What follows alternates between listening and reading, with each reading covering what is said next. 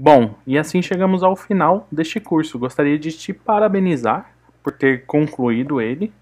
É, também agradecer a paciência e a atenção, agradecer por ter escolhido esse curso.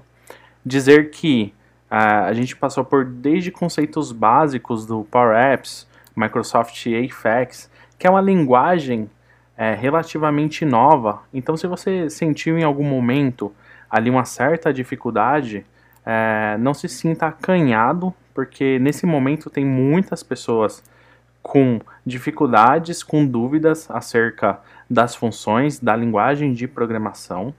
Porém, você está aprendendo em um momento que muita gente está buscando aprender.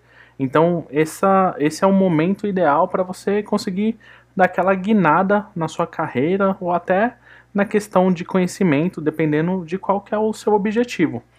E se você ficou com alguma dúvida é, referente ao Power Apps, ao Power Effects, eu gostaria de te convidar a acessar as minhas redes.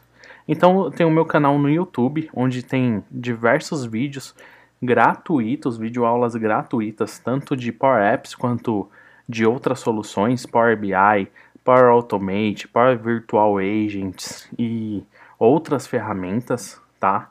Inclusive tem um, um curso gratuito, um mini curso gratuito de Power Apps, que lá a gente meio que coloca mais a mão na massa, que foi bastante fundamento, é, mas lá a gente constrói uma solução, uma solução simples de cadastro, então ele é gratuito, tá lá disponível, tá?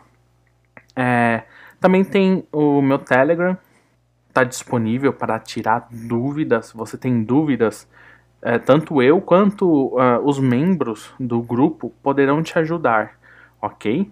E o meu LinkedIn, que para a gente se manter próximo numa conexão, ok? E eu também consegui acompanhar a evolução de vocês, assim como vocês acompanharem a minha evolução. Eu estou em constante evolução, tá? E também queria dizer que esse curso ele dá uma boa base para você tentar aí uma certificação da Microsoft. No caso, eu tenho a certificação do Power Platform Fundamentals.